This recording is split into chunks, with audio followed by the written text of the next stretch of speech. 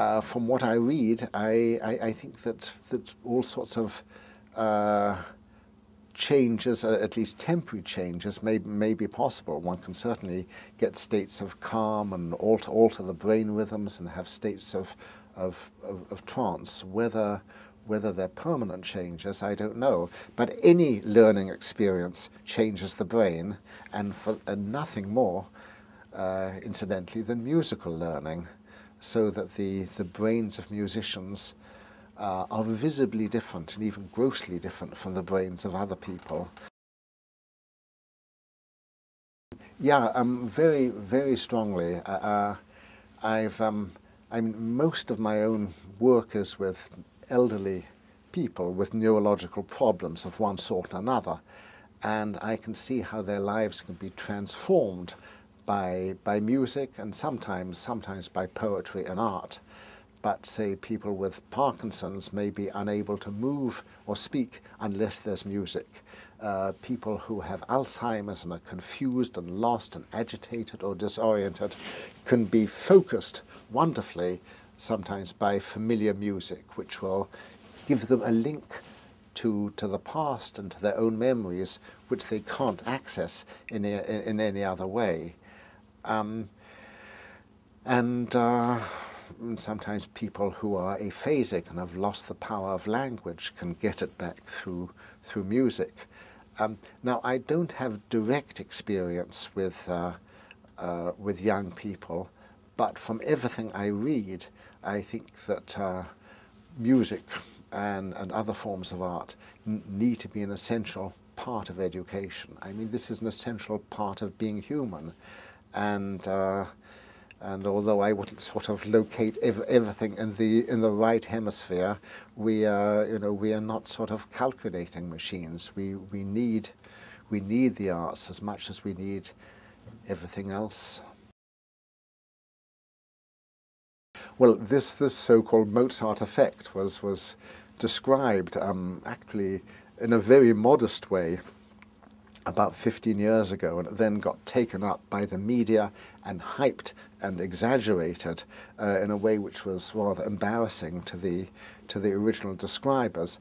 Um, I think there's very little to suggest that, that a little Mozart as background will make any difference.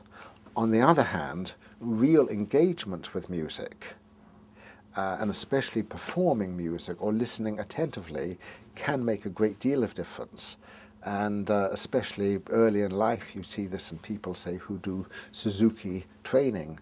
And one, a year of Suzuki training can, uh, can not only enhance one's musicality and alter the brain quite visibly, but the effect um, seems to, uh, to leak over to some extent into forms of visual thinking and logical thinking, uh, uh um, pattern recognition, and so forth. So, um, a little a little musical background is uh, is not enough, but but real musical engagement I think can be very important. One needs to distinguish. You know, um, um, Freud made a point, say, of distinguishing neurotic misery and depression from what he called common unhappiness the common unhappiness is what we, we all feel when, when we're grieved, when we lose people, when things go wrong.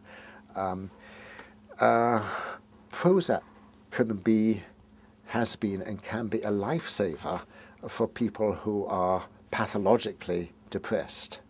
Um, uh, depression is the main cause of suicide.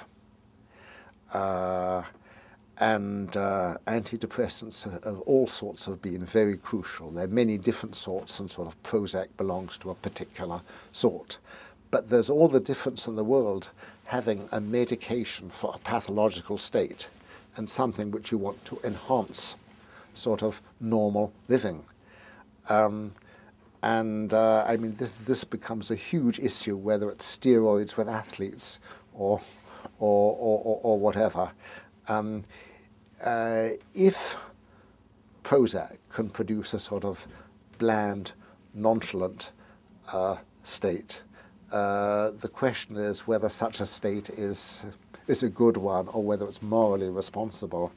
um, I think one needs to have all one's emotional sympathies and sensitivities and vulnerabilities out, there. It sometimes seems as if childhood itself is being is, is it becomes a diagnosis, becomes a disease. Hundreds of thousands of children, I think, are probably improperly diagnosed as hyperactive or as having attention disorder of one sort or another, and are put on the amphetamines or Ritalin, and. Um, I think there do exist genuine forms of attention hyperactivity disorder which, which may need medication.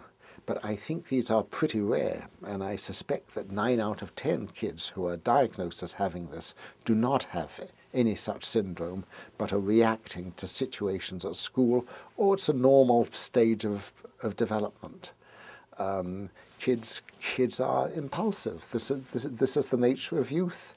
It's, it's, it's, one of the wonders of youth. It's one of the things one needs to keep all, all through life.